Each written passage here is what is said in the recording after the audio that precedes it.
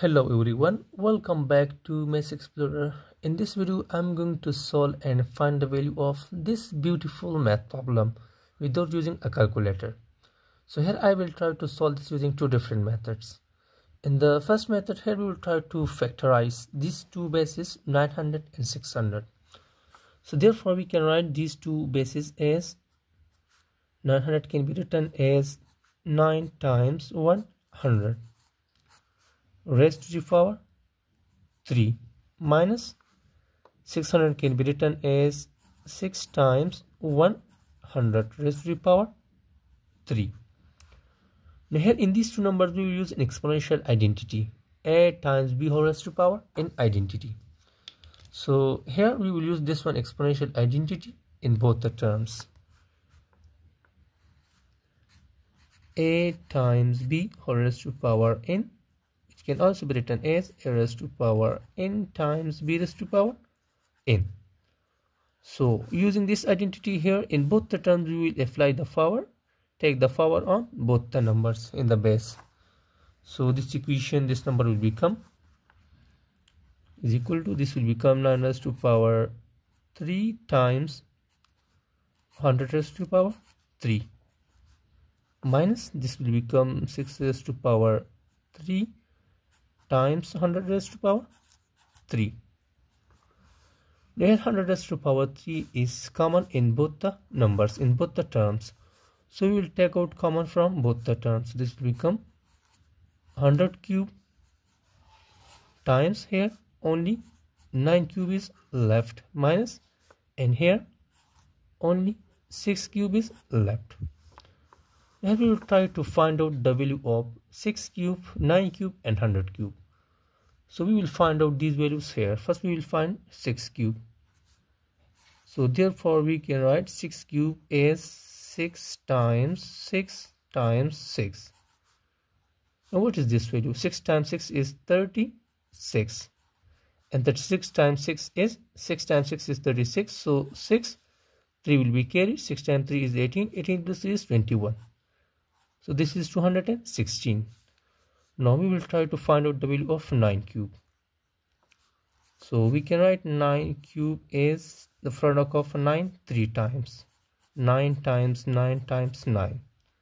Now 9 times 9 is 81 and 81 times 9 is 9 times 1 is 9 and 9 times 8 is about 72 so this is 729 next we will find out 100 cube so we can write 100 cube as we can write 100 as 10 square whole raised to power 3 here using an exponential identity you will multiply the power. So this will become 10 raised to power 2 times 3 is 6 now what is 10 raised to power 6 10 raised to power 6 means we have to when we take power 6 over 1 so this is simply 1 and we will write six zeros because there is six in the power. So we will write six zeros here. So the value of 10 raised to power 6 is 1 million. Now here we will replace these numbers. 6 raised to power 3 with 216 9 raised to power 3 with 729 and 100 raised to power 3 with 1 million. So this number will become this is equal to 1 million times the value of 9 cube is 729 minus the value of 6 cube is 216 now first we will subtract these two numbers and then we will multiply the result with this number. So this will become 1 million times let's subtract these two numbers. So here 9 minus 6 is 3 2 minus 1 is 1 7 minus 2 is 5 so the subtraction of this number gives him 513. We multiply this number with 1 million. So it is very simple. Now to multiply these two numbers, we will start from the ones position and we will multiply this number with 1 million. So 513 times 0 is 0. 513 times 0 is 0. 513 times 0 is 0. Multiplying this number, any number of, with any 0 is always 0. So with this, it always gives him 0. With this 0. With this 0 and 513 times 1 is 513 so this gives him 513 million. So finally 513 million is our answer and our required value. Now here we will try to solve this problem using the second method. So in second method here we will use a cubic algebraic identity a cube minus b cube algebraic identity. So here inside this number we will use this cubic identity we can write a cube minus b cube is a minus b times a square plus a times b plus b square.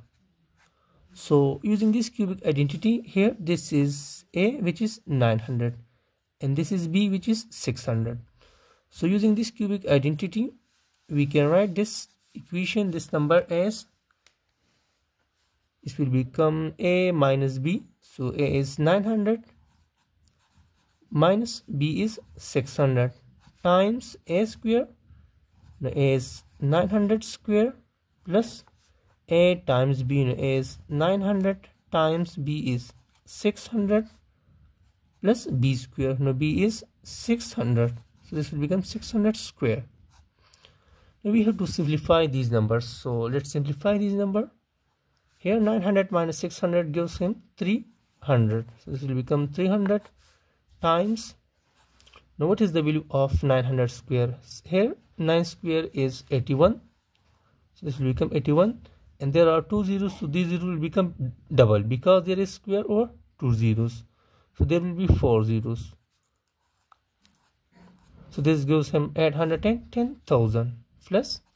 What is the value of this? Here 900 times 0 is 0 910 times 0 is 0 900 times 6 is 6 times 0 is 0 6 times 0 is 0 and 6 times 4 is about 54 so this gives him 540,000 plus what is the width of 600 square? Here 6 square is 36 and there are two zeros these will become double so there will be four zeros. So this will become 360,000 now we'll add these three numbers and then we'll multiply the result with 300 now to add these three numbers we will start from the ones position. So 0 plus 0 plus 0 is 0 0 plus 0 plus 0 is 0 now next 0 plus 0 plus 0 is 0 comma 0 plus 0 plus 0 is again 0